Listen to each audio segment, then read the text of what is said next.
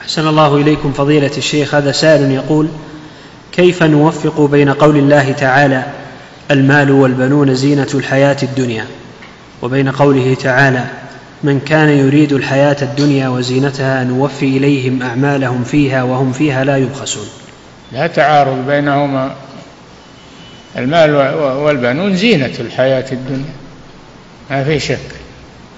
لكن من أراد المال والبنين ولم يخلص عمله لله عمله حابط. من عمل عملا صالحا يريد به الدنيا لم يقبل منه هذا العمل. من كان يريد الحياة الدنيا وزينتها نوفي إليهم أعمالهم فيها وهم فيها لا يبخسون. أولئك الذين ليس لهم في الآخرة إلا النار.